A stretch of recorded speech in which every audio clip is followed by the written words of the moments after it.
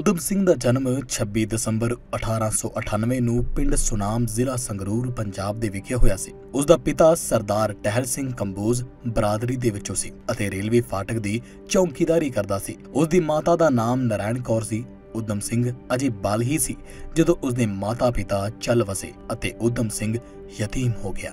ਗਿਆਨੀ ਚੈਂਚਲ ਸਿੰਘ ਇੱਕ ਬਹੁਤ ਰਹਿਮਦਿਲ ਪਿੰਡ ਵਾਸੀ ਸੀ। ਉਸਨੇ ਲੰਮੀ ਸੋਚ ਕੇ ਬਾਲ ਉਦਮ ਸਿੰਘ ਨੂੰ ਸੈਂਟਰਲ ਖਾਲਸਾ ਯਤੀਮਖਾਨਾ ਅੰਮ੍ਰਿਤਸਰ ਵਿਖੇ ਦਾਖਲ ਕਰਵਾ ਦਿੱਤਾ। ਉਦਮ ਸਿੰਘ ਦੀ ਮੁੱਢਲੀ ਵਿਦਿਆ ਇੱਥੇ ਹੀ ਮੁਕੰਮਲ ਹੋਈ। ਉਸ ਦਾ ਪਹਿਲਾ ਨਾਮ ਸ਼ੇਰ ਸਿੰਘ ਸੀ, ਜੋ ਕਿ ਯਤੀਮਖਾਨੇ ਅੰਮ੍ਰਿਤਪਾਨ ਕਰਨ ਉਪਰੰਤ ਉਦੇ ਸਿੰਘ ਰੱਖਿਆ ਗਿਆ। ਉਹ ਬਾਅਦ ਵਿੱਚ ਉਦਮ ਸਿੰਘ ਦੇ ਨਾਮ ਦੇ ਨਾਲ ਦੁਨੀਆ ਵਿੱਚ ਜਾਣਿਆ ਜਾਣ ਲੱਗ ਪਿਆ। ਇਸ ਦੌਰਾਨ ਉਦਮ ਸਿੰਘ ਦਾ ਵੱਡਾ ਭਰਾ ਸਾਧੂ ਸਿੰਘ 19 ਸਾਲ ਦੀ ਉਮਰ ਦੇ ਵਿੱਚ ਹੀ ਅਕਾਲ ਚਲਾਣਾ ਕਰ ਗਿਆ। ਭਰਾ ਦੀ ਮੌਤ ਨੇ ਉਦਮ ਸਿੰਘ ਨੂੰ ਡੂੰਘਾ ਸਦਮਾ ਪਹੁੰਚਾਇਆ। ਹੁਣ ਉਦਮ ਸਿੰਘ ਇਕੱਲਾ ਰਹਿ ਗਿਆ। ਯਤੀਮਖਾਨੇ ਰਹਿ ਕੇ ਉਦਮ ਸਿੰਘ ਨੇ 10ਵੀਂ ਪਾਸ ਕਰ ਲਈ। ਉਹ ਆਪਣੇ ਭਵਿੱਖ ਬਾਰੇ ਸੁਪਨੇ ਲੈਣ ਲੱਗ ਪਿਆ। ਦੇਸ਼ ਦੀ ਆਜ਼ਾਦੀ ਦੀ ਲਹਿਰਾਂ ਜ਼ੋਰਾਂ ਸ਼ੋਰਾਂ ਦੇ ਉੱਪਰ ਚੱਲ ਰਹੀਆਂ ਸੀ। 13 ਅਪ੍ਰੈਲ 1919 ਨੂੰ ਜਲਿਆਂਵਾਲੇ ਬਾਗ ਦਾ ਖੂਨੀ ਸਾਕਾ ਵਾਪਰ ਜਾਂਦਾ ਹੈ ਜਨਰਲ ਡਾਇਰ ਨੇ ਨਿਹੱਤੇ ਅਤੇ ਬੇਕਸੂਰ ਲੋਕਾਂ ਦੇ ਉੱਪਰ ਗੋਲੀਆਂ ਚਲਾ ਕੇ ਉਹਨਾਂ ਦੇ ਖੂਨ ਦੇ ਨਾਲ ਹੋਲੀ ਖੇਡੀ।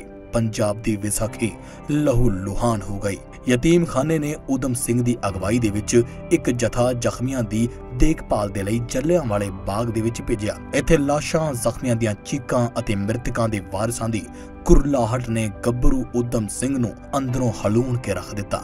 ਜਲਿਆਂਵਾਲੇ ਬਾਗ ਦੀ ਘਟਨਾ ਦਾ ਸਾਰੇ ਦੇਸ਼ ਵਿੱਚ ਪ੍ਰਤੀਕਰਮ ਹੋ ਰਿਹਾ ਸੀ।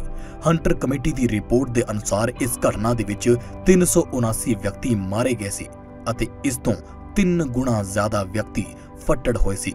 ਪਰ ਅਸਲ ਵਿੱਚ ਇਸ ਖੂਨੀ ਕਾਂਡ ਦੇ ਵਿੱਚ ਇਸ ਤੋਂ ਕਈ ਗੁਣਾ ਵਧੇਰੇ ਜਾਨਾਂ ਦੀ ਬਲੀ ਚੜ ਗਈ ਸੀ। ਉਦਮ ਸਿੰਘ ਨੇ ਜਲਿਆਂਵਾਲੇ ਬਾਗ ਦਾ ਦਿਲ ਕੰਬਾਊ ਅਤੇ ਦਰਦਨਾਕ ਦ੍ਰਿਸ਼ ਆਪਣੀ ਅੱਖੀਂ ਵੇਖਿਆ ਸੀ।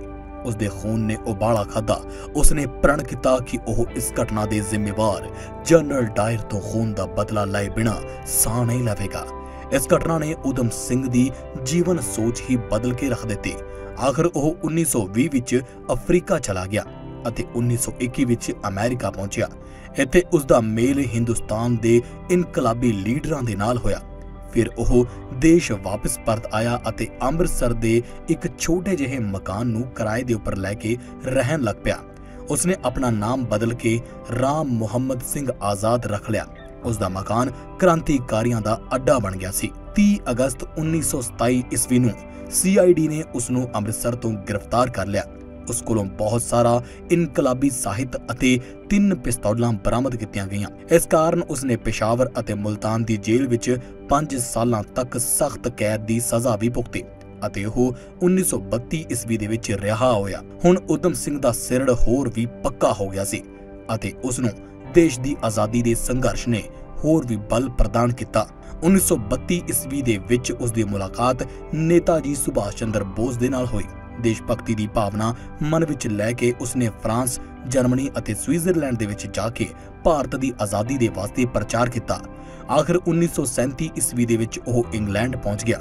ਇੱਥੇ ਰਹਿੰਦਿਆਂ ਉਦਮ ਸਿੰਘ ਨੇ ਜ਼ਿੰਦਗੀ ਦੀਆਂ ਅਨੇਕਾਂ ਔਕੜਾਂ ਦਾ ਸਾਹਮਣਾ ਕੀਤਾ। ਉਸ ਨੂੰ ਆਪਣਾ ਟੀਚਾ ਪੂਰਾ ਕਰਨ ਤੋਂ ਬਿਨਾਂ ਹੋਰ ਕੁਝ ਵੀ ਚੰਗਾ ਨਹੀਂ ਸੀ ਲੱਗਦਾ। ਉਦਮ ਸਿੰਘ ਬਚਪਨ ਤੋਂ ਹੀ ਚੁੱਪਚਾਪ ਸ਼ਾਂਤ ਸੁਭਾਅ, ਸਿਰੜੀ, ਹਿੰਮਤੀ ਅਤੇ ਲਗਨ ਦੇ ਨਾਲ ਕੰਮ ਕਰਨ ਦਾ ਆਦੀ ਸੀ।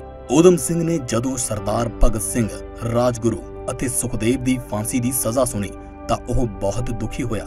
ਉਹ ਕਈ ਦਿਨ ਚੁੱਪ ਰਿਹਾ ਅਤੇ ਖਾਦਾ ਪੀਤਾ ਵੀ ਕੁਝ ਨਾ। ਉਦਮ ਸਿੰਘ ਹਰ ਵੇਲੇ ਆਪਣੇ ਦੇਸ਼ ਦੀ ਆਜ਼ਾਦੀ ਦੇ ਬਾਰੇ ਵਿੱਚ ਸੋਚਦਾ ਰਹਿੰਦਾ ਸੀ। ਲੰਡਨ ਪੁੱਜ ਕੇ ਉਦਮ ਸਿੰਘ ਨੇ ਇੰਜੀਨੀਅਰਿੰਗ ਦਾ ਕੋਰਸ ਕਰਕੇ ਉੱਥੇ ਹੀ ਨੌਕਰੀ ਕਰਨੀ ਸ਼ੁਰੂ ਕਰ ਦਿੱਤੀ, ਪਰੰਤੂ ਉਹ ਕਿਸੇ ਹੋਰ ਤਾਕ ਦੇ ਵਿੱਚ ਸੀ। ਉਹ ਲਗਭਗ 7 ਸਾਲ ਇੰਗਲੈਂਡ ਦੇ ਵਿੱਚ ਰਿਹਾ। ਇਸ ਦੌਰਾਨ ਜਨਰਲ ਡਾਇਰ ਤਾਂ ਮਰ ਚੁੱਕਾ ਸੀ। ਪਰੰਤੂ ਉਸ ਸਮੇਂ ਦੇ ਪੰਜਾਬ ਦਾ ਗਵਰਨਰ ਸਰ ਮਾਈਕਲ ਆਡਵਾਇਰ ਹਾਲੇ ਜਿਉਂਦਾ ਸੀ। 13 ਮਾਰਚ 1940 ਨੂੰ ਭਾਰਤ ਵਿੱਚ ਰਹਿ ਚੁੱਕੇ ਅੰਗਰੇਜ਼ ਅਫਸਰਾਂ ਦੀ ਮੀਟਿੰਗ ਲੰਡਨ ਦੇ ਕੈਂਗਸਟਨ ਹਾਲ ਦੇ ਵਿੱਚ ਹੋ ਰਹੀ ਸੀ, ਜਿਸ ਬਾਰੇ ਉਦਮ ਸਿੰਘ ਨੇ ਜਾਣਕਾਰੀ ਪ੍ਰਾਪਤ ਕਰ ਲਈ ਸੀ। ਇਸ ਮੀਟਿੰਗ ਵਿੱਚ ਸਰ ਮਾਈਕਲ ਆਡਵਾਇਰ ਸਾਬਕਾ lieutenant governor, Punjab lord Zetland lord Lamington ਅਤੇ ਹੋਰ ਅਨੇਕਾਂ ਉੱਚ ਅਧਿਕਾਰੀ ਮੌਜੂਦ ਸੀ। ਉਦਮ ਸਿੰਘ ਵੀ ਇਸ ਹਾਲ ਦੇ ਵਿੱਚ ਅੰਗਰੇਜ਼ੀ ਅੰਦਾਜ਼ ਦੇ ਵਿੱਚ ਕੱਪੜੇ, ਓਵਰਕੋਟ ਅਤੇ ਹੈਟ ਪਹਿਨ ਕੇ ਪਹੁੰਚ ਗਿਆ। ਹਾਲ ਵਿੱਚ ਸਰ ਮਾਈਕਲ ਓਡਵਾਇਰ ਨੇ ਬੜੇ ਜੋਸ਼ ਦੇ ਨਾਲ ਆਪਣਾ ਭਾਸ਼ਣ ਸ਼ੁਰੂ ਕੀਤਾ। ਅਜੇ ਉਸਨੇ ਕੁਝ ਸ਼ਬਦ ਹੀ ਬੋਲੇ ਸਨ ਕਿ ਉਦਮ ਸਿੰਘ ਨੇ ਇੱਕ ਨੁੱਕਰ ਚੋਂ ਉੱਠ ਕੇ ਓਡਵਾਇਰ ਨੂੰ ਪਿਸਤੌਲ ਦੀ ਗੋਲੀ ਦੇ ਨਾਲ ਸਦਾ ਦੀ ਨੀਂਦ ਸੁਆ ਦਿੱਤਾ। ਇਸ ਲੜਾਈ ਵਿੱਚ ਲਾਰਡ ਜੈਟਲੈਂਡ ਅਤੇ ਲਾਰਡ ਲਮਿੰਗਟਨ ਵੀ ਜ਼ਖਮੀ ਹੋ ਗਏ। ਸਾਰੇ ਹਾਲ ਦੇ ਵਿੱਚ ਭਗਦੜ ਮਚ ਗਈ, ਪਰੰਤੂ ਉਦਮ ਸਿੰਘ ਦਲੇਰੀ ਦੇ ਨਾਲ ਉੱਥੇ ਹੀ ਖੜਾ ਰਿਹਾ, ਜਿਵੇਂ ਕਹਿ ਰਿਹਾ ਹੋਵੇ, ਮੈਨੂੰ ਫੜ ਲਓ ਲੰਡਨ ਵਾਸੀਓ, ਮੈਂ ਖੜਾ ਪੁਕਾਰਾਂ। ਇਹ ਖਬਰ ਦੁਨੀਆ ਭਰ ਦੇ ਵਿੱਚ ਫੈਲ ਗਈ। ਉਦਮ ਸਿੰਘ ਨੂੰ ਗ੍ਰਿਫਤਾਰ ਕਰ ਲਿਆ ਗਿਆ। ਉਸਨੇ ਬੜੇ ਮਾਣ ਦੇ ਨਾਲ ਆਪਣੇ ਕਾਰਨਾਮੇ ਦਾ ਇਕਬਾਲ ਕੀਤਾ। ਉਦਮ ਸਿੰਘ ਨੂੰ ਬ੍ਰਿਕਸਟਨ ਜੇਲ੍ਹ ਦੇ ਵਿੱਚ ਡੱਕ ਦਿੱਤਾ ਗਿਆ। ਅਤੇ ਉਸ ਤੇ ਮੁਕੱਦਮਾ ਵੀ ਚਲਾਇਆ ਗਿਆ। ਜੇਲ੍ਹ ਵਿੱਚ ਉਹ ਬਹੁਤ ਹੌਸਲੇ ਦੇ ਨਾਲ ਰਿਹਾ। ਉਸ ਨੂੰ ਫਾਂਸੀ ਦੀ ਸਜ਼ਾ ਸੁਣਾਈ ਗਈ। ਉਸਨੇ ਆਖਿਆ ਕਿ ਮੈਂ ਮਰਨ ਤੋਂ ਨਹੀਂ ਡਰਦਾ। ਮੈਂ ਔਡਵਾਇਰ ਨੂੰ ਮਾਰ ਕੇ ਹਜ਼ਾਰਾਂ ਬੇਗੁਨਾਹਾਂ ਦੇ ਖੂਨ ਦਾ ਬਦਲਾ ਲਿਆ ਏ। ਇਸ ਅਨੋਖੇ ਅਤੇ ਉਦਮੀ ਕਾਰਨਾਮੇ ਦੇ ਲਈ ਉਦਮ ਸਿੰਘ ਨੂੰ 20 ਸਾਲ 11 ਮਹੀਨੇ ਤੱਕ ਉਡੀਕ ਕਰਨੀ ਪਈ, ਜੋ ਦੁਨੀਆ ਦੇ ਇਤਿਹਾਸ ਵਿੱਚ ਇੱਕ ਵਿਚਿੱਤਰ ਘਟਨਾ ਹੈ। ਆਖਿਰ 31 ਜੁਲਾਈ 1940 ਈਸਵੀ ਨੂੰ ਉਦਮ ਸਿੰਘ ਨੂੰ ਫਾਂਸੀ ਦੇ ਦਿੱਤੀ ਗਈ।